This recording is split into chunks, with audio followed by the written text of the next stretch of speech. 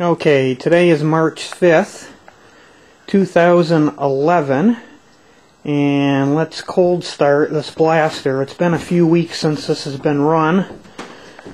I gotta move it. I want to take the snowmobile out and rip around the yard here and enjoy it, probably for the last time. Alright. Full choke fuel on.